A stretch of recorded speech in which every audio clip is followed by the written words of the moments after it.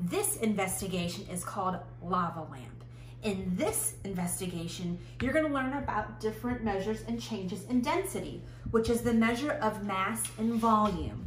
The first thing you're gonna start out with is you're gonna take a water bottle that's empty and fill it a quarter of the way full with water.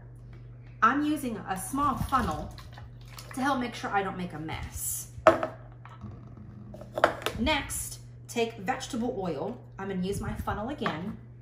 This time, I'm going to use my funnel to help me pour about three fourths of the vegetable oil into the bottle. You wanna stop to leave a little bit of room at the top. Next, add the food coloring. The color can be anything of your choice. You can choose one color or you can have fun and mix them.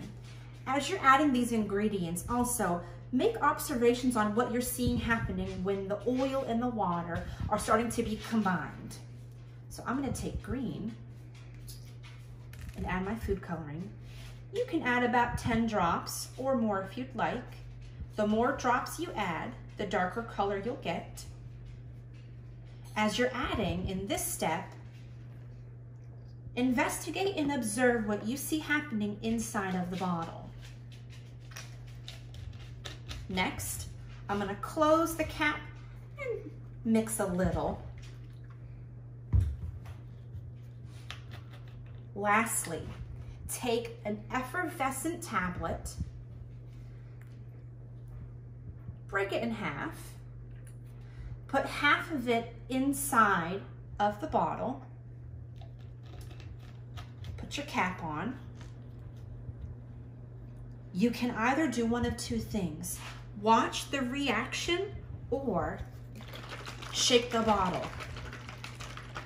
Make an observation on what you see happening.